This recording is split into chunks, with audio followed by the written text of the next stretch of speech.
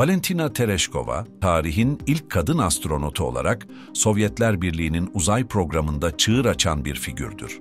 Valentina Tereshkova'nın uzay kariyeri 1961 yılında Yuri Gagarin'in dünya yörüngesine çıkmasının ardından Sovyetler Birliği'nin uzay keşiflerine daha fazla katılım sağlamak amacıyla başlatılan bir program kapsamında başladı. Bu program, Vostok uzay aracıyla gerçekleştirilen insanlı uzay uçuşlarını içeriyordu.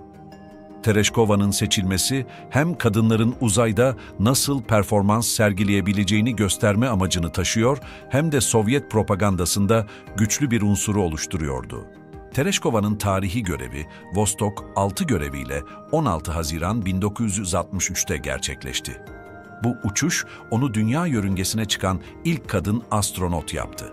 Tereşkova'nın uzay uçuşu sırasında dünya yörüngesinde 48 tur atmış ve 71 saat boyunca uzayda kalmıştır.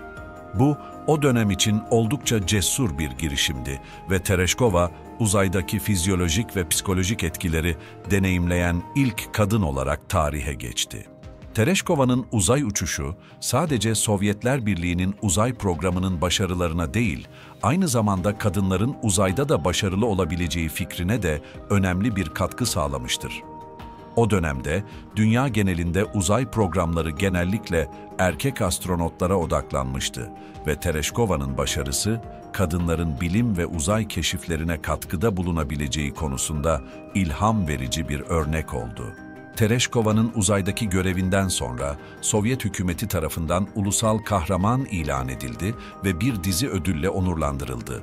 Valentina Tereşkova'nın uzaydaki macerası sadece bir kişinin cesur bir adım atması değil, aynı zamanda kadınların bilim ve uzay keşifleri alanında erkeklerle eşit rekabet edebileceğini gösteren bir dönemin ürünüdür.